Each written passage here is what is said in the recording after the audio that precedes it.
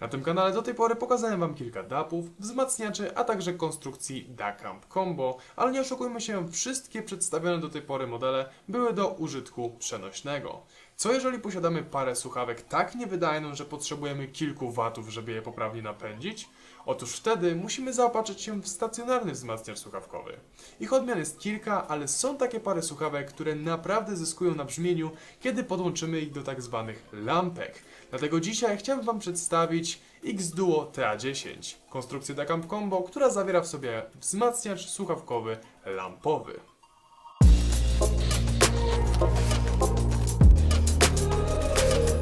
Zacznijmy od zawartości pudełka. Jest to zwykły karton wyłożony pianką, dlatego też powątpiewam, by prezentował się on dobrze na ścianie z opakowaniami ze sprzętu, jakie to niektórzy budują w swoich pomieszczeniach.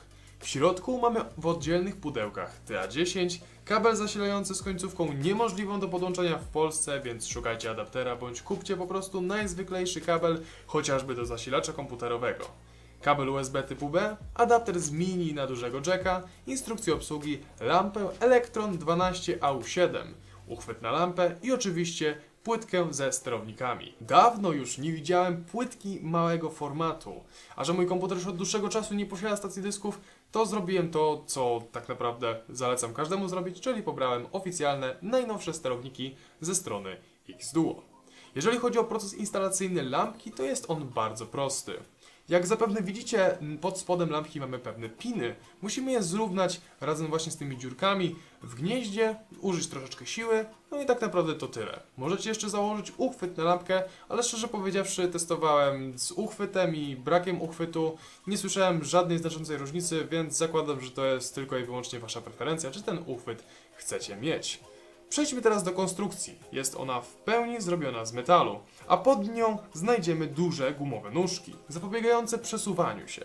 Na przodzie mamy gniazdo XLR, gniazdo jack 6,3 mm, a także cyfrowy potencjometr, który jednocześnie robi za pokrętło odgłośności, której wartość dostrzeżemy na małym panelu, a po jego naciśnięciu zmieniamy nasze źródło, które możemy zobaczyć przy pomocy malutkich świecących diod pod gniazdami. Przechodząc na tył, mamy całkiem pokaźną ilość portów. Od prawej zaczynając dwa oddzielne AUXy i wyjście liniowe podłączone analogowo przy pomocy RCA, czyli cinczy. A wyżej wyjście cyfrowe z i gniazdo USB typu B do podłączenia z komputerem.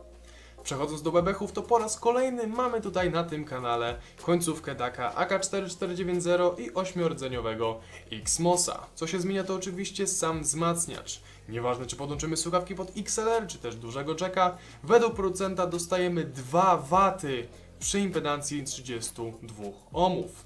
Dzięki czemu możemy napędzić słuchawki nawet do 600 ohmów. I tak się składa, że akurat takie słuchawki posiadam.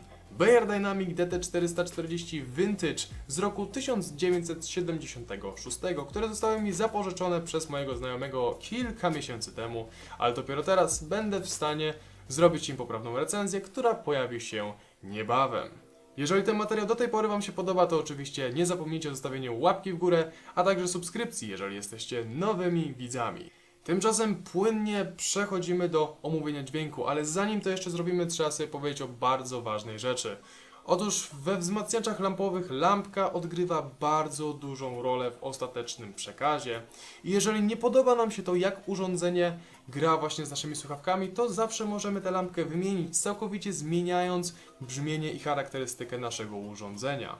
Na początku myślałem tak zrobić, oczywiście, ale potem stwierdziłem, że to będzie troszeczkę nie fair w kwestii recenzji, właśnie wymieniać komponenty, do których nie wszyscy mają dostęp, zwłaszcza kiedy właśnie kupują e, TA10. Dlatego też e, postanowiłem, że zrobię recenzję na stokowej lampce. I jeżeli chodzi o stokową lampkę, jest to klasyczna 12AU7 i radzę ten drugi człon zapamiętać, ponieważ jest to typ lampki, więc jeżeli będziecie szukać następnym razem jakiejś lepszej lampki, to musicie zawsze e, sprawdzić, czy to jest właśnie model 12AU7. Jeżeli chodzi o brzmienie, to ponownie tutaj muszę wrócić do swojego DAPA, czyli X-Duo X32, ponieważ wszystkie rzeczy z X-Duo, jakie testowałem do tej pory, mają bardzo podobne do siebie brzmienie. W przypadku DT440 Vintage gra to naprawdę fajnie. Scena w nich jest naprawdę szeroka, ale to już zakładam kwestia poprawnego napędzenia i uwydatnione troszkę bardziej są wysokie tony. Szczerze powiedziawszy, ze wszystkich par, jakich słuchałem pod TA10, to tylko DT440 naprawdę zyskało na charakterze. W innych przypadkach posiadam tylko słuchawki o stosunkowo niskiej impedancji, to jest 24, 32 i 60 ohmów. W żadnym wypadku nie polecam parowania tego wzmacniacza z bardzo czułymi parami słuchawek z prostego powodu. Po pewnym czasie nieużytkowania wzmacniacz się wyłącza, co skutkuje bardzo donośnym i często boleśnym pyknięciem w samych słuchawkach. Podczas tego procesu także często możemy usłyszeć pewne szumy i zniekształcenia. Dopiero przy słuchawkach 60-ohmowych, czyli moich Wimonkach Plusach, nie jest to już na tyle drażniące, a przy 600 ohmach praktycznie niesłyszalne. Jeżeli miałbym opisać samą lampkę, to zrobię to krótko. Zmieńcie ją jak najszybciej. W wielu przypadkach góra po prostu sybilowała, a dół był mocno zamulony i też było go bardzo mało. Przy KSC75X, jak i w Imonkach, wysokie tony po prostu przeważają i cały odsłuch robi się po prostu taki płaski i nudny. Za to w praktycznie każdym przypadku można było doświadczyć poprawy pozycjonowania instrumentów, jak i samej separacji. O wiele łatwiej jest skupiać się na nich i to uznałbym za duży pozytyw. Podsumowując, całe urządzenie TA10 jest naprawdę ciekawym zestawem. W stosunkowo małej obudowie dostajemy konstrukcję DACAMP Combo z możliwością podpięcia dwóch źródeł i wyjściem cyfrowym. Z uchwytem na lampkę prezentuje się bardzo minimalistycznie, a kiedy stwierdzimy, że brzmienie nie pasuje, bądź nam się znudziło, wymieniamy lampkę i możemy znów cieszyć się nowością pochodzącą z tego samego sprzętu. Oczywiście bardzo serdecznie dziękuję sklepowi Audio Heaven za użyczenie mi TA10 do testów. Jeżeli jesteście zainteresowani tym wzmacniaczem, linki do sklepu, a także do samego zakupu macie na dole w opisie. Zapraszam także na swojego Instagrama bitwolf.film. Tak, zmieniła się nazwa, ponieważ są duże zmiany, jeżeli chodzi o techniczną stronę tego kanału. Zapraszam oczywiście tam na moje Instastory, na pisanie do mnie właśnie direct message z pytaniami, jeżeli macie jakiekolwiek, a także oglądaniem oczywiście moich zdjęć. Jeżeli Wam się materiał podobał, to oczywiście zostawcie łapkę w górę, a także subskrypcję, jeżeli jesteście nowymi widzami. Tymczasem ja się z Wami żegnam i widzimy się przy okazji kolejnych materiałów. Trzymajcie się i na razie.